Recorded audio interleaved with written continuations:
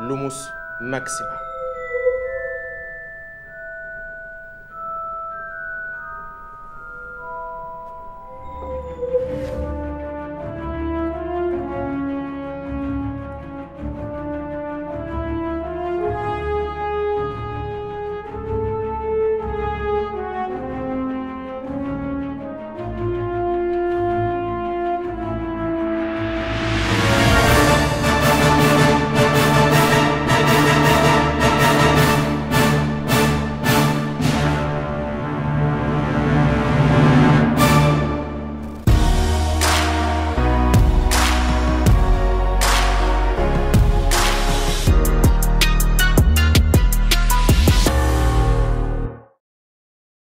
ازيكم؟ أنا احمد بحيري. في الفيديو ده هتشوف واحدة من أغرب العدسات اللي ممكن تشوفها في حياتك. عدسة اللواء. آه إيه؟ آه لواء. إيه؟ عدسة Laowa 24 ملم f 14 probe lens macro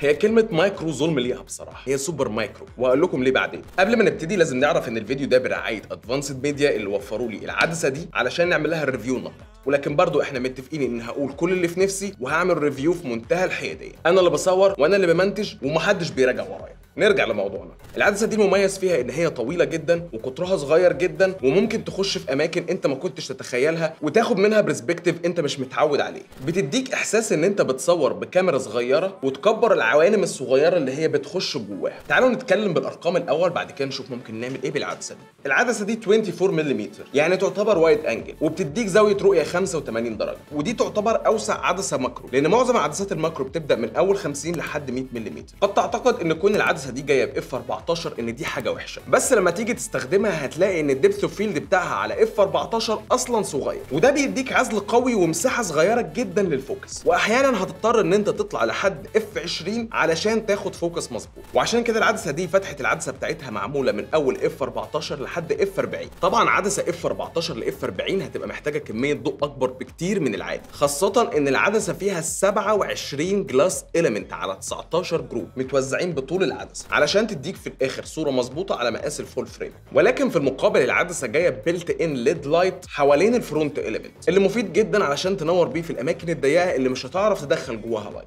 ملاحظتي على ال LED ده اللي لون أضاءته قذر بصراحة. لا هو أبيض ولا هو أصفر. فأنت حاول بقدر المستطاع إن أنت ما تعتمدش عليه لأنه هيتعبك في ال color correction بعدين. كمان ال LED عبارة عن 8 قطع منفصلة واضحين مفيش عليهم diffuser وده يخليك لما تيجي تاخد shot قريب لحاجة فيها reflection يديك reflection شكله مش حلو اطلاقا. وأتمنى فعلا إن هم يصلحوا حاجة زي ديت في الإصدار القادم منها. ورق ال diffuser بشيلن بس. العدسة قطرها 20 مللي يعني 2 سم وده بيسمح لك إن أنت تخش بيها في أماكن غريبة أنت ما كنتش تتخيلها. وهتكتشف عوالم خفية أنت ما شفتهاش قبل كده من منظور ال bug eye perspective وده هيسمح لك إن أنت تاخد بيها شطات جديدة ومختلفة و creative جدا. نيجي بقى الرقم مهم جدا اللي هو ال minimum focus distance واللي في حالة العدسة دي هو 470 مللي يعني 47 سم خلي بالك عزيزي المصور إن ال minimum focus distance بيتقاس من ال sensor مش من العدسة. يعني في حالة عدسة زي دي طولها 43 سم وفي حوالي 3 سم إلا شوية بينها وبين ال sensor يتبقى لك حوالي أقل من 2 سم تعمل فيهم focus. يعني ممكن تعمل focus هنا. وده هيديك إمكانية إن أنت تقرب لل object بتاعك بشكل كبير جدا. يعني على الرغم إن ده أكبر minimum focus distance موجودة في عدسة macro إلا إن دي أقرب مسافة ممكن تعمل عليها focus بالنسبة لل front element لأي عدسة macro العدسة وزنها 400 جرام خفيفة جدا وفي نفس الوقت ال material اللي معمولة بيها نظيفة جدا. ما تحسسكش ابدا إن هي عدسة رخيصة. لأن هي عدسة مش رخيصة. هتعرف سعرها في آخر الفيديو. نقطة كمان مهمة إن العدسة fully manual سواء focus أو aperture والجميل فيها إن مشوار ال focus بتاعها طويل وسموث جدا. كمان ال iris ring أو ال ring بتاع فتحة العدسة declicked بمعنى إنه مش متقطع لستوبات يعني لما تيجي تلفها كده ما تديش كليكات عند كل فتحة عدسة. وده مهم جدا للناس اللي بتصور فيديو عشان يتحكموا في ال exposure بنعومة وبدون تقطيع. برضه من الحاجات العظيمة في العدسة دي إن هي بتيجي في box عظيم جدا. حبيت. شيك كده وفخم. حاجة كده من ريحة زمن شنط السامسونايت الجميل الشنطة كلها من الالومنيوم وقوية جدا ومبطنة بسفنج ومناسبة جدا للسفر. طبعا ده لو قدرت تقنعهم في المطار إن دي عدسة. وبيجي معاها كمان شنطة مبطنة من ال fiber وفيها زي support الومنيوم أو خشب.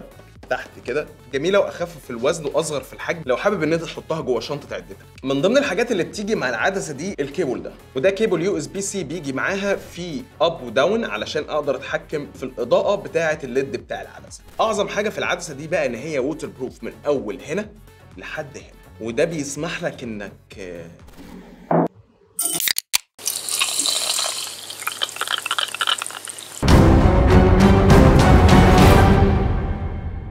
بدع بقى براحتك.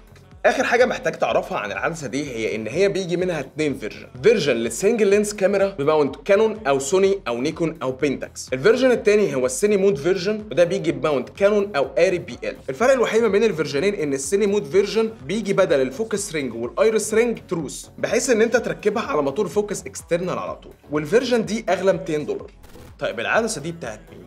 العدسة دي في الأول وفي الآخر هي عدسة macro فهي بتاعت أي حد بيصور macro ولكن في نفس الوقت هي مفيدة جدا للناس اللي بتصور food أو product videographers مش photographers ولو إنها في الفوتو ممتازة جدا برضو يعني. أنت ومزاجك. من أبو آخر كده العدسة دي لو أنت محتاجها هتعرف لوحدك. لأن أنت لو مش بتصور macro أو food أو product العدسة دي مش هتبقى مفيدة ليك. وما أنصحكش ابدا إن أنت تروح تدفع فيها.